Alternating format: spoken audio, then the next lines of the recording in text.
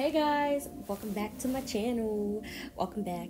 If you're new to my channel, welcome. And if you're returning, thanks for being loyal. I see you.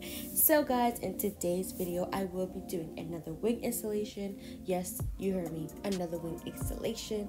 But if you would like to support my channel, make sure you like, comment, subscribe, and follow my social medias down in the description bar below. Okay guys, so let's get into this video.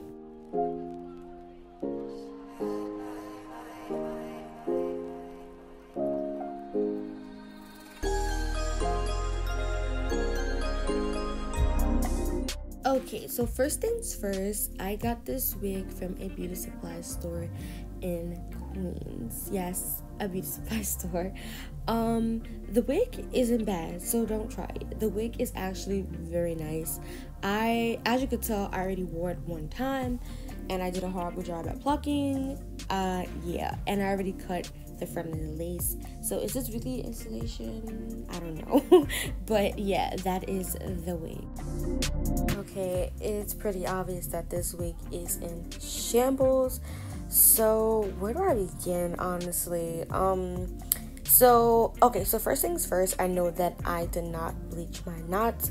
I would like to attempt to bleach my knots, but let me i'm just doing baby steps first okay? I gotta first things first i gotta learn how to apply the wig before i do bleaching. So the method that i use is the ScarAway and if you watch my other wig installation video you would know that it's just like basically tape like some skin tape that you use that you use for healing. I don't know. I just know that i use it to cover my knots in the middle of my closure and then I just took some of my setting powder and brushed it on to tint the lace so that it would sort of match my skin complexion.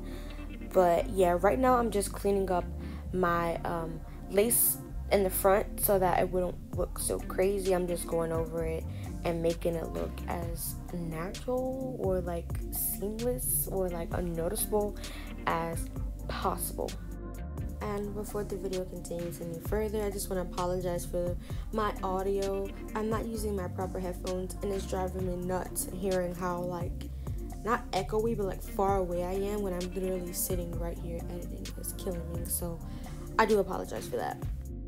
A quick tip uh, when doing the front of your closure, you don't want to cut the lace in a straight line. You want to do like jagged or like wavy movements so that the lace won't look so straight and wig like.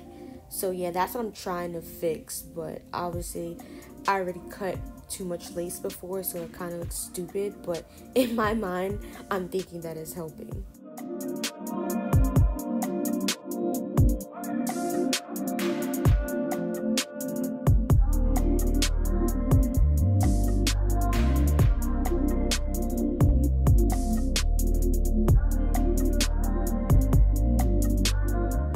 So here's the part where I add my glue. Last time I used the Got2b glue free spray. This time I will be using the Ghost Bond XL lace glue.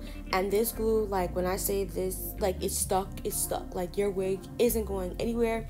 So I start off by pinning the hair back and then I do uh, three layers. You could either do two or three. I do three for extra security. You could do two to three layers of the little dots and then you like you you see you'll wipe it down smear it let it dry. Not dry completely but like get tacky and then you repeat the layer over and over again. Well the three times or two times and then you blow dry and lay the wig um, everything's very self-explanatory especially if you watch the video you see what i do and it's pretty easy honestly. I like the glue because the glue lasts a lot longer than the free spray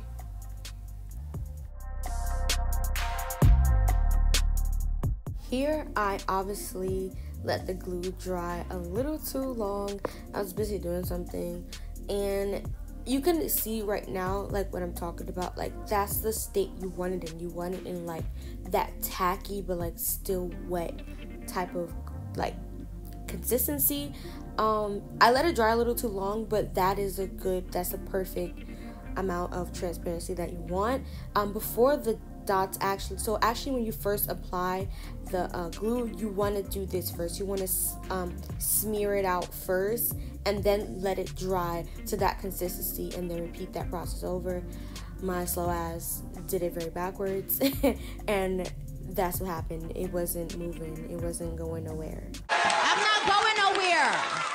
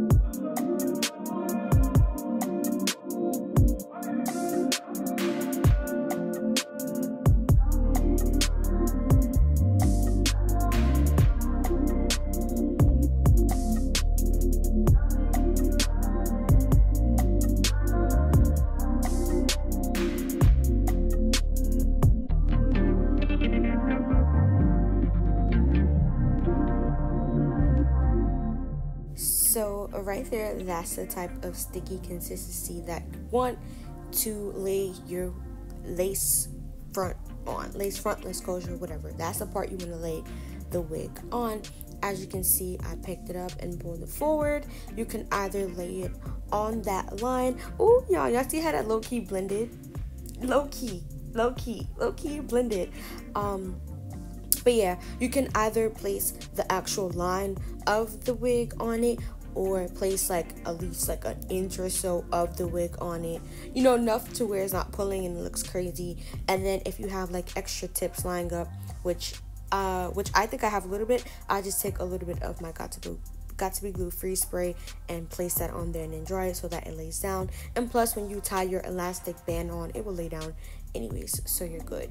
So then you just want to pull the wig up place it down directly on the glue and then use your uh, metal tail comb uh, or the thing I had before and like lay it down, like press it in so that it melts or whatever you want to call it into the thing. And then you just grab your blow dryer for extra, um, for extra, you know, bondage, just so like it can seal and the glue won't be so wet when you tie your wig. When you tie your wig, oh my god, when you tie your elastic band on. Another quick tip when I'm doing this part, if you want to get the hair straighter, you can add Got2b glue free spray and blow dry so that that part of the hair goes straight. And yeah, I went ahead and added a little bit of Got2b glue free spray on my finger and applied it to the wig. I didn't spray it directly on because I didn't want it to get wet and lift. So yeah, and then after that, I will take my elastic band and tie it around my wig. Uh, how I apply it is I do like a little bit on enough to know I know that it's laying on the place where I applied the glue, and then I tie it not as as tight as I possibly can, as much as I can tolerate, and then I leave it on. I leave a little bit of room for styling purposes, but yeah, you just want to tie that hoe on and make sure it's secure whatever. So here's my favorite part, the styling.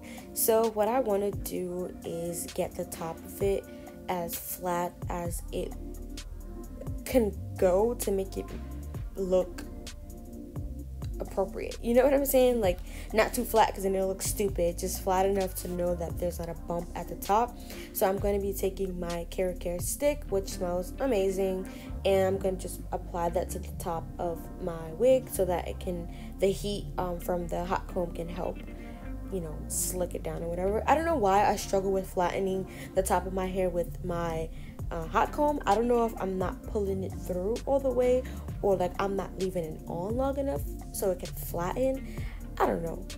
Let me know down below. Give me some tips on how I could um, get it flatter with my hot comb or whatever like that. But yeah, so I'm just gonna be focusing on flattening the top of my head. Guys, and another tip that I would appreciate is if somebody could tell me how the hell I can cut the front of my lace because like I can do it like it looks good but then like when I look at it it looks too oval like and I'm doing the jaggy motion I'm doing it in zigzags or whatever, and it's still looking like oval shape. I don't know was I giving what it's supposed to give. So please let me know down in the comments below how can I fix that issue as well. Stepping out of my comfort zone here, I am actually pulling the hair away from my face. I usually I usually try to keep the hair very over my forehead type of thing, but I'm gonna try to pull it away to give it that wig look that I always want to achieve. So I'm just gonna apply the Care stick to the front of my hair and kind of like brush like comb it back so that it has like that like silky like brush back look and then I'm gonna try to like push it slowly to the front to like to create that to create to create that like like I don't know like humped over look but like still slick. I don't know. You'll see what I mean in a minute though. And it's so crazy to me like with the band on like it actually looks like I know what I'm supposed to be doing but then when I take the band off I'm like what the fuck? Like it's not supposed to look like that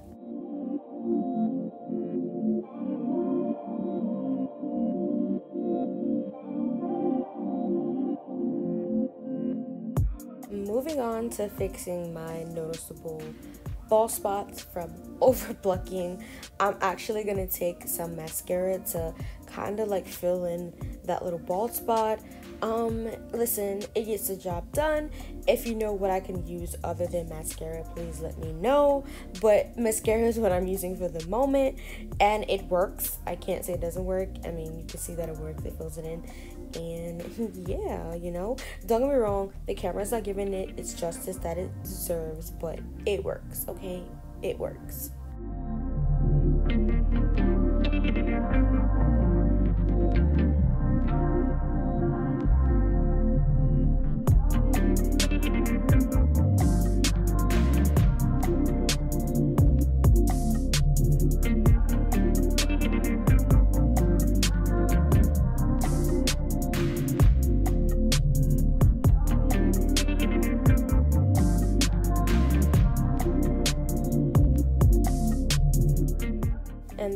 Just adding some concealer to clean up my part and make it look more like a straight part.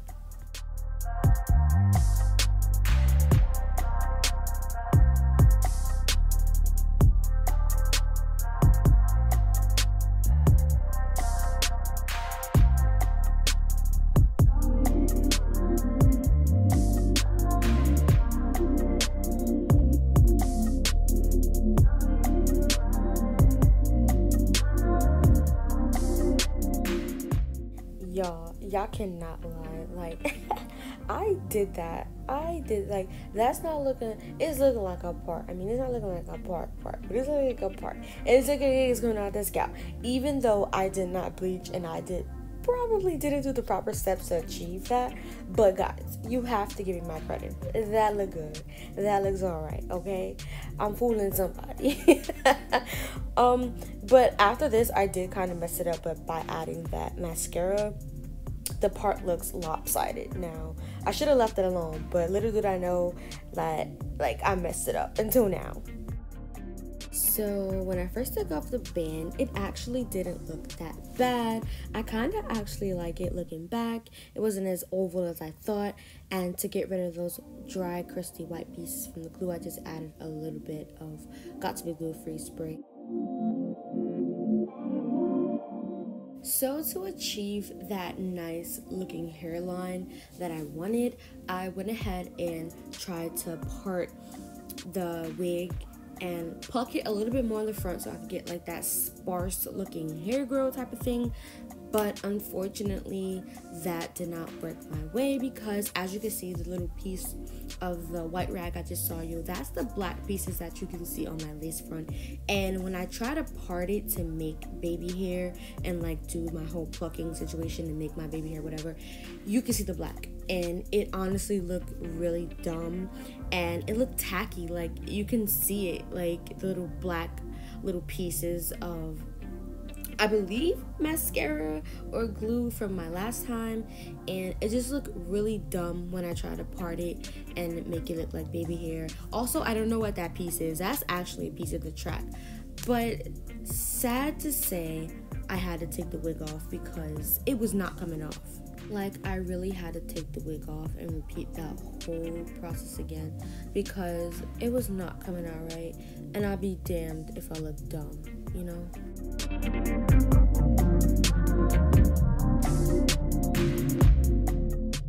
But here I am again attempting to get that sparse hairline type of thing. Yes, I know there's a bald spot yet there. Yes, I know that I'm probably over plucking, but I'm trying to find a way, a method to get that sparse hairline that I want so badly. So if you guys have any tips tricks how I should pluck, where I should pluck, please let me know in the comments down below so I can attempt it on another wig and not a wig already messed up. But yeah, I'm really trying my best to get that sparse type of hairline by plucking. And I don't know if bleaching the knots have anything to do with getting that sparse hairline, and maybe that's why mine is looking like that. But once again, please let me know down below. Not gonna front though, it kind of does look really good. Like, at least for me being a beginner, and that's why I title these videos beginner friendly because I am still a beginner at doing wigs, and maybe someone that is experiencing the same things that I'm going through, you know, this will help a little bit. Like, we could struggle together, you know.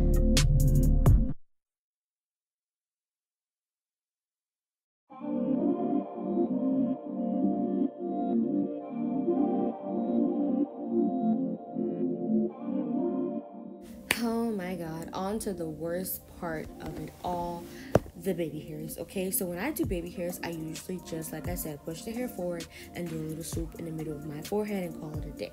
But now i said i need to step out of my comfort zone and try to do the baby hairs the proper way. So as you can see at first i have the baby hair right near the middle of the part. No sis that's not where they go. They literally go on like the side of where the closure part ends, that's where you want to push your baby hairs. You want to push them in the corner so that they don't look like two little stupid nubs touching each other, okay? You want them as far apart as possible so that it looks good on your forehead, okay? I was doing them so wrong before. And another thing, you want them like not too thick, you want them like thin ish so that it still looks like you're laying hair on your forehead. So another tip, like with that I noticed, like what I'm picking up from doing it is when you do the baby hair, like you don't want them too thick, you want them thin enough, and you also don't want them too long or too short. You want them at the perfect length where you can swoop them and like get that nice swoopage going. If they're too short, you're not gonna be able to achieve it. You're gonna need like a lot of, not a lot of product, but like a good amount of product and like a good enough, enough like dry time so it can hold. And if they're too long, it's just gonna not swoop right. So you need like the perfect length, okay? And another tip with baby hairs is when you're cutting them, uh, after you shear them, you want to cut them at an angle, okay? At an angle. I don't know, doing baby hairs is like really stressful to me because they can make or break your look. Like, that's how important baby hairs are to wig slayage. Okay, if you mess up them baby hairs, that's it. Throw the whole wig away. Just throw it away. And like at one point, I almost had it but it was too thin and then I had to add more hair and then when I added more hair I cut them too short and it, it's just really like you gotta get baby hair down to a science. Like if anybody can help me once again drop comments down below because listen I'm all for the tips okay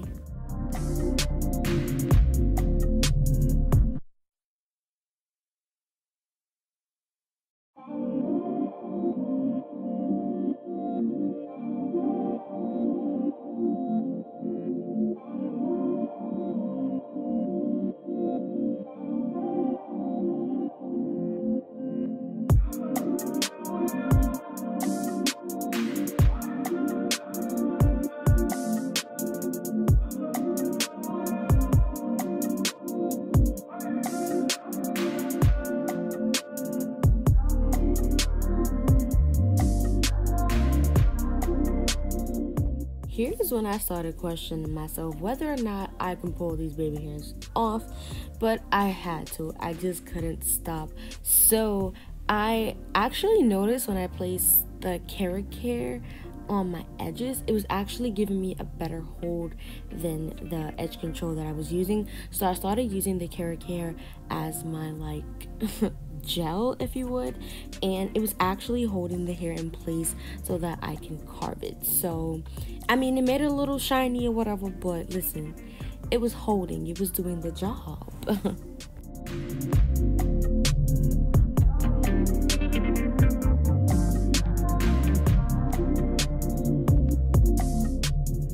I don't think y'all understand how stressed I was when it came to these damn baby hairs. Like, I was struggling.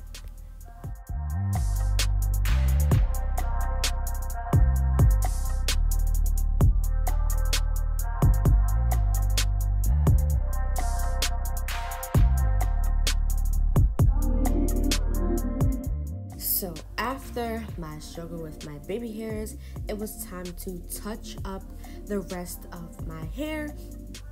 So I kind of went in with some concealer and then I realized it was too light and then I went in with some of my skin foundation, skin foundation, foundation and just try to blend it in just to make it look better, you know what I'm saying? I don't know if it made it better or worse, but at the end of the day, I was just trying to make something work.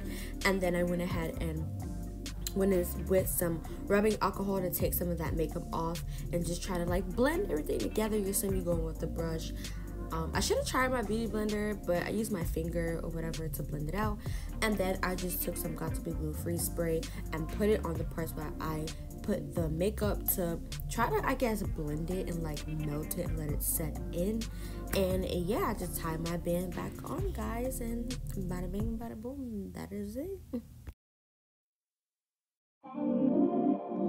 Alright guys, this is the final look with this wig.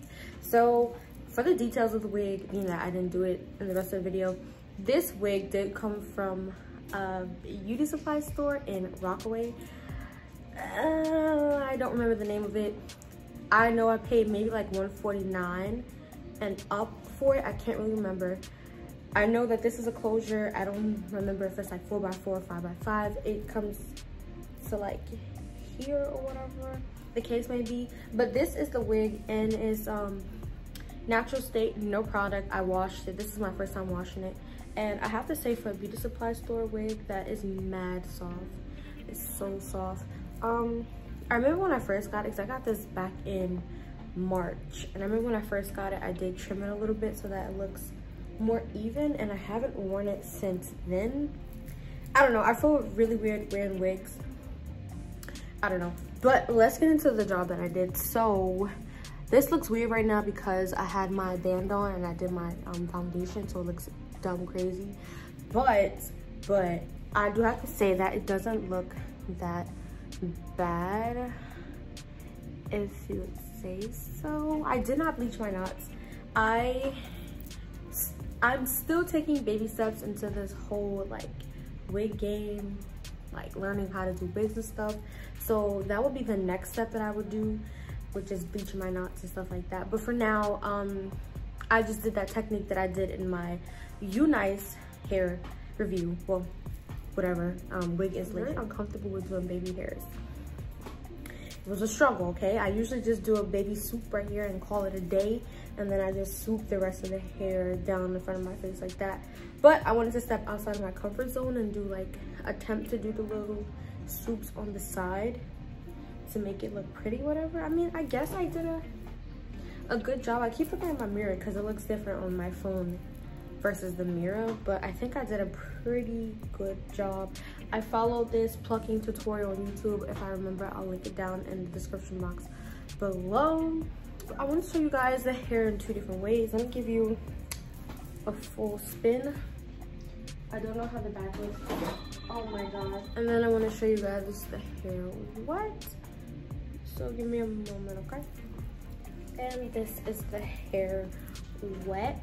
I kind of like both. I like the wet because, I, you know, it makes it look so like smooth and silky. Like, hold on definitely is very pretty. Like I would love to see like if I were to put product in it, how would it um hold up? I was thinking about cutting this wig like shorter length, but I think I'm gonna leave it as is. Um, it's very pretty wet. It's like a loose wave. I don't want to say like deep wave because deep wave is definitely like a lot coilier. I don't know. Could it be deep wave?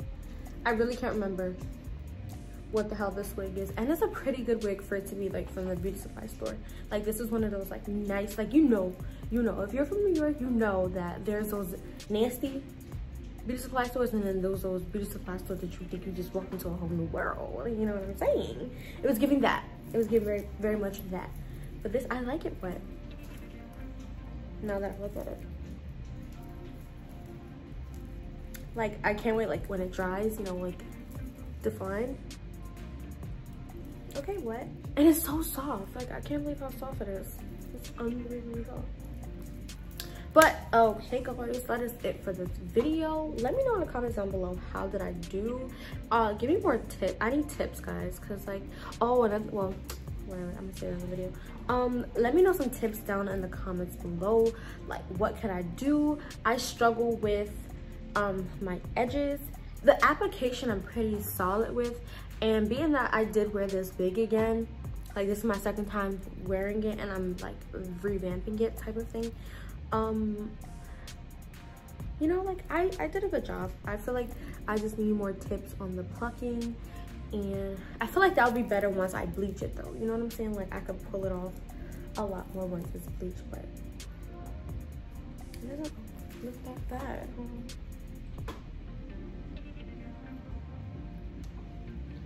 actually like it or not or like it or not okay guys but that is it for this video. Make sure you like comment and subscribe and follow my social medias which will be down in the description bar below.